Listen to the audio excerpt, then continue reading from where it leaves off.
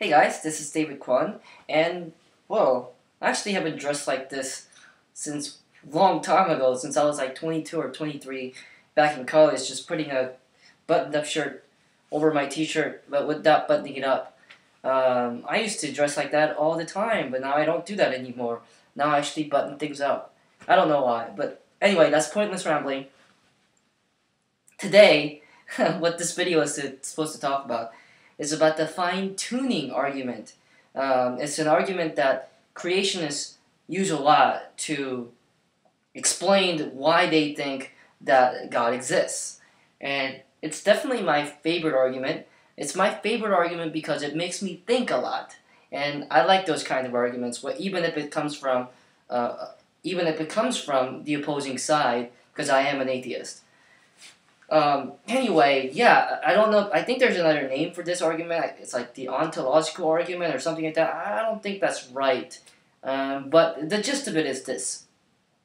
The gist of it is that there are universal constants. Um, constants such as speed of light, speed of gravity, and the universal constant is also a constant.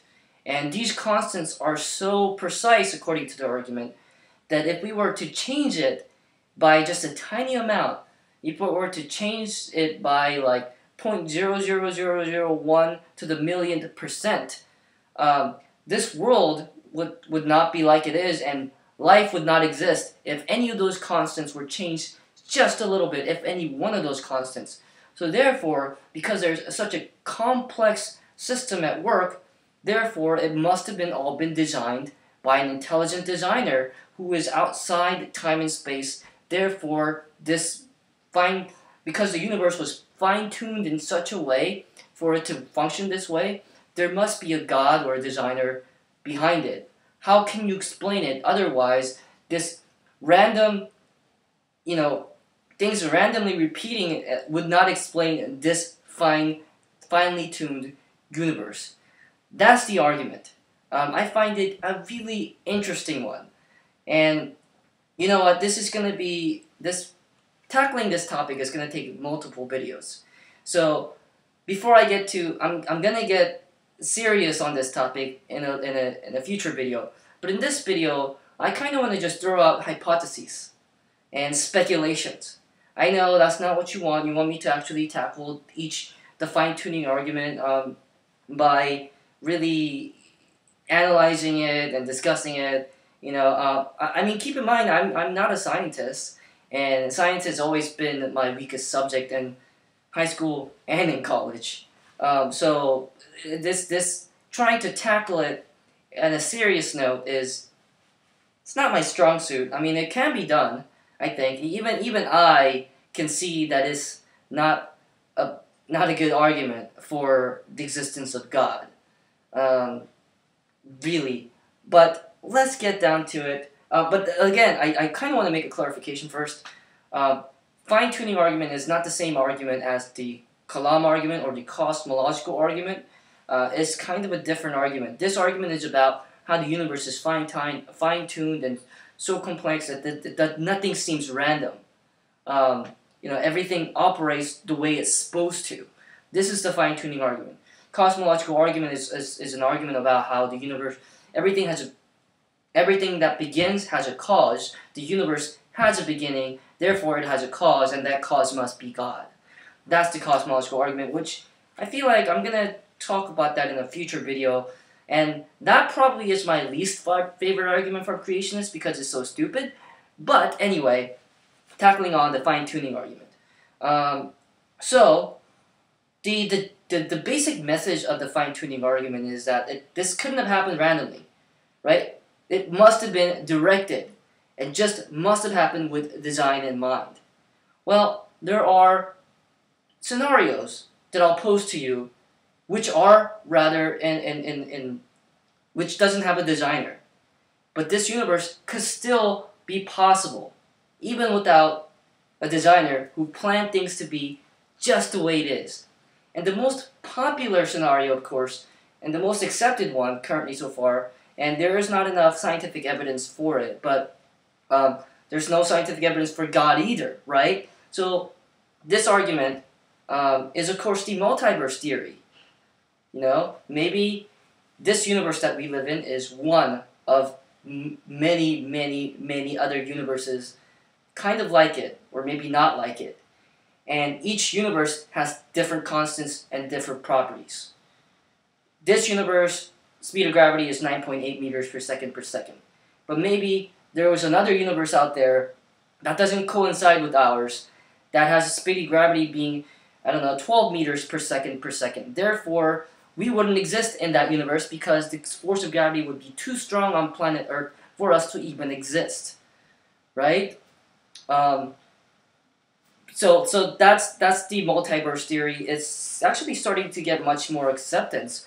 Um, I, I'm not even sure, but I think there's starting to be much more uh, studies trying to find that there is uh, universes out there that is not this.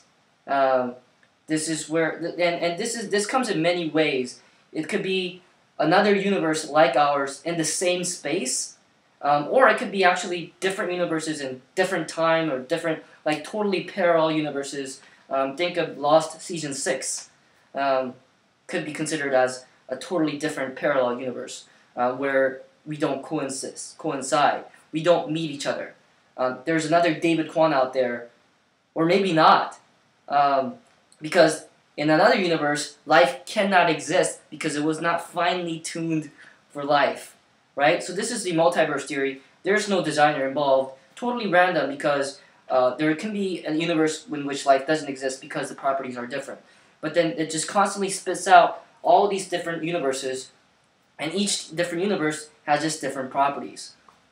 All totally doesn't there, there's, there doesn't need to be a designer for this because every universe just happens to have different properties, different constants. So that's one speculation. Uh, it might not be satisfactory to you folks, but just like how God is not satisfactory to me, deal with it. Uh, second scenario is this one. So we now know that the universe occurred to be this way because of something called the Big Bang. Um, there was, at one point, like nothingness. Um, and and within that nothing there is this like this empty space that happened. There was kind of an implosion which caused particles, this one thing, to explode and expand and keep expanding. And the expansion happened because of the properties that existed, right? Now, we know that so far, scientific evidence points us to conclude that the universe has a beginning, and that beginning was the moment of Big Bang. Why don't we conclude that the universe has an ending? Because that's certainly a possibility. The universe might have an ending. Currently, the universe is constantly expanding. Um, and it seems to be expanding at an accelerating rate. It's getting bigger and bigger and bigger and faster and faster and faster. Is it is it going to be like that for infinitely, indefinitely? Um, science has not answered that question. The answer to that question right now is I don't know. Right? We are only assuming that it goes on forever and ever and ever and ever. What if it doesn't? Here's the thing. What if the universe expands on and on and on and on and on, and then finally it reaches its limit because it, it came from this particle, but then it starts contracting, start the expansion gets slower and stops. Okay, because it reached this limit. But then from that on, the properties reverse and the universe starts collapsing. Okay? And then collapsing, collapsing, collapsing, collapsing, collapse, and collapse until it comes to that moment where it was like that before the Big Bang. Um, now I know this sounds implausible to you, but it's not without. It's still within to me the realm of possibility. Could still be the case. And then another Big Bang, except this time when the Big Bang happens, the properties have changed.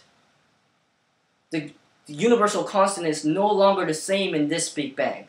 It's different. Speed of gravity is different, might be different. Speed of light might be different. The constants that we are so we take for so granted right now might be changed. Um, in that case, you know what? Boom! Another Big Bang. Properties are different, and then it reaches out, hits its limit, collapses again, and then comes to that point another Big Bang, properties are different. What if this happened so many times that we don't even know about? And finally, we're at this point where it happened with this property and that's why it exists. Again, no God involved. Just because you have a fine-tuning argument doesn't require a God. This could still happen.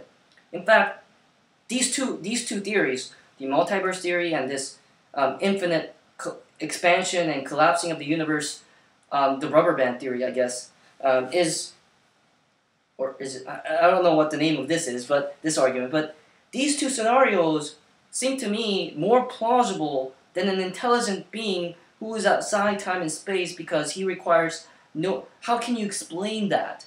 Multiverse, you can at least explain it. Collapsing, constant collapsing and expansion of Big Bang, you can at least explain it. Here's a third scenario. And this also can be explained without a God. Third scenario, you know what? This universe constantly collides and collides, collides from one Big Bang. But why do we assume there was only one Big Bang?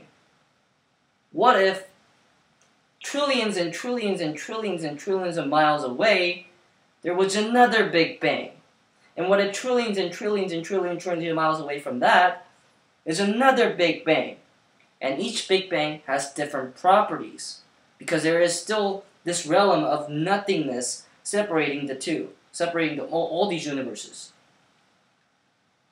All and and some at some point because they're constantly expanding, some universes tend maybe colliding with another universe that's expanding, and when that happens, they meet, they clash, and they just either just crumble apart or they start reversing and they start collapsing altogether. We don't know the the fine-tuning argument is a good one. I like it because it does recognize that there are constants in the universe that are working in tandem. Um, now, I'm gonna go in the, I'm get, in the next video. I'm going to actually talk about how whether the constants are so finely tuned or not is debatable. Um, how precise are these constants? Can we change them? How, like the, the argument that if we change them even just a tiny little bit, the whole universe would be changed, that's actually not, not definitely true. Um, it might be true, but it's not definitely true. But let's assume that it is, right? Even assuming so, what, what you have such little imagination to just automatically assume that it's because of a God. There's so many other possibilities out there that you could consider without even considering a God. To, to conclude from fine-tuning argument that, oh, it must be because of God, is displaying lack of imagination. It's a fine premise. I like the premise. It's, it makes me think of all these wonderful scenarios, of all these crazy scenarios that can happen. But to conclude that this proves God exists is a display of just lack of imagination. You need to think of better scenarios in which it makes more sense and can be actually explained than a being who is God or gods. Actually, polytheism to me makes much more sense if we're going with fine-tuning theory, and I'll explain that more in the, in the future video. Um, why polytheism, if you're going with fine-tuning argument and you want to argue for creationism, and there are God or gods involved, polytheism makes much more sense. And I'll explain that in a future video. But just imagine, yeah, you, know, you have the multiverse theory. Uh, multiple universes, each universe has different properties, and that's why this particular universe has these, this set of properties. Then constantly expanding and collapsing, therefore, and each time it expands, different property, that's why it exists. Or multiple universes multiple Big Bangs within one single universe that only exists. Each Big Bang with different properties. That's certainly possible because universe might be actually much bigger than we think it is. Why limit the universe to be such a small, tiny thing? Uh, let our imaginations run wild. But your religion, if you believe in a certain religion that, that says God created the sky and the ground and, and put water between the sky and the ground, um, and, and doesn't even talk about the cosmos, about planets, about galaxies, about galaxies within galaxies, about the universe and all beyond, really, it doesn't explain uh, the, the full scope, the full possibilities of the universe. Um, in the next video, I will actually be talking, uh, I'll start to tackle final, this fine-tuning universe argument in a different way, in an even crazier way. So let's actually assume in the next video, I'm going to assume, yeah, okay, fine. Maybe there was a designer behind it. Um, but that video, you're on, you know, you know my stance. The designer is not going to be God, or might not be God. And in the next video, I'll explain how that might be the case. So, hope you guys enjoyed. Cheers.